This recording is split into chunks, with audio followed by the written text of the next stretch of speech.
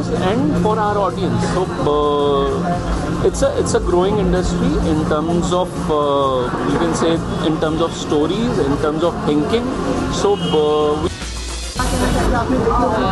जी ये मैं एक ही चीज़ कहना चाहूँगा कि ये हमारे हमारी इंडस्ट्री के लिए हमारी ऑडियंस के लिए बहुत इम्पोर्टेंट फ़िल्म थी और ऐसी फ़िल्में और बननी चाहिए हंसल मेहता जैसे डायरेक्टर एक नया होराइजन खोल रहे हैं और अ, ये बहुत ज़रूरी था कि ऑडियंस को नई तरह की कहानियाँ सुनने को मिले।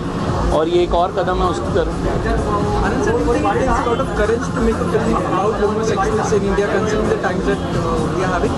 Definitely it takes lot of courage and these are the times where we should tell all these new stories and it's it's an opening up for us as a makers and for our audience so it's a it's a growing industry in terms of uh, you can say in terms of stories in terms of thinking so uh, we need these gutsy director to come up and uh, give us a new beginning sir इसके अलावा अलीगढ़ बहुत सारे festival से गई है लेकिन commercially मतलब इस तरह की फ़िल्में अच्छा नहीं कर पाती तो उसके लिए क्या रीज़न है उसका एक ही रीज़न है कि हम डायरेक्टर्स थोड़े डरपोक हैं कहानियाँ सुनाने से डरते हैं इसलिए ऑडियंस को आदत नहीं पड़ती।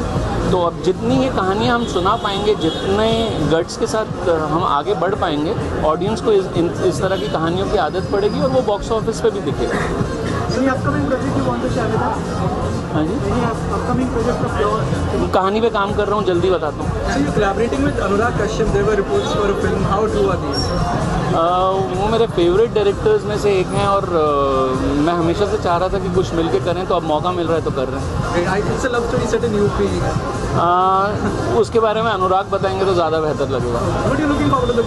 Thank you so much